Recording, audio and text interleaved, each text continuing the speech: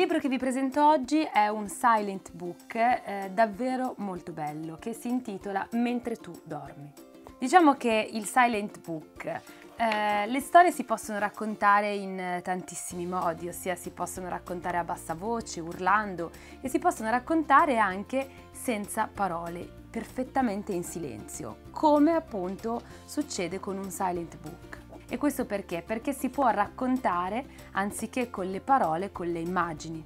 Intanto diciamo c'è una regola dei silent book perché funzionino, ossia bisogna avere qualcosa da raccontare. Sembrerà banale, ma è la, la regola prima. Non una semplice sensazione o una contemplazione, ma davvero qualcosa che abbia un inizio, un, um, uno svolgimento e una fine. E eh, ovviamente questo silent book rispecchia davvero i, ehm, i criteri, mh, mm, tutti i criteri per cui un silent book possa davvero piacere ai nostri bambini.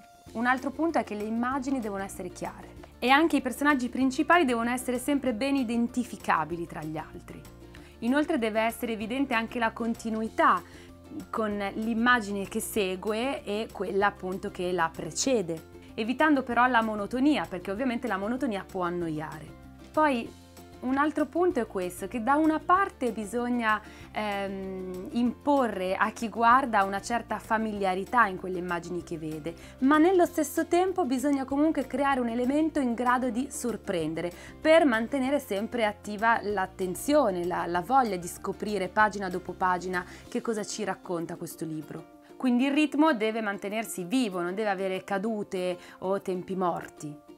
E anche per questo motivo diciamo che le immagini non devono essere troppo piene ma neanche troppo vuote. L'altro punto secondo me importante è che non tutto deve essere eh, chiaro alla prima occhiata. Inoltre se c'è qualche elemento misterioso, le immagini ogni volta si faranno guardare sempre con un nuovo e stupito interesse. E alla fine colui che ha seguito tutto lo svolgimento di questa storia raccontata per immagini dovrà avere la sensazione di essere giunto a una conclusione logica e anche soddisfacente, quindi non campata per aria perché tanto non c'è eh, una narrazione sotto. Questo che vi ho presentato oggi è davvero uno di quei libri che eh, rispecchia perfettamente tutti questi criteri e quindi ve lo consiglio.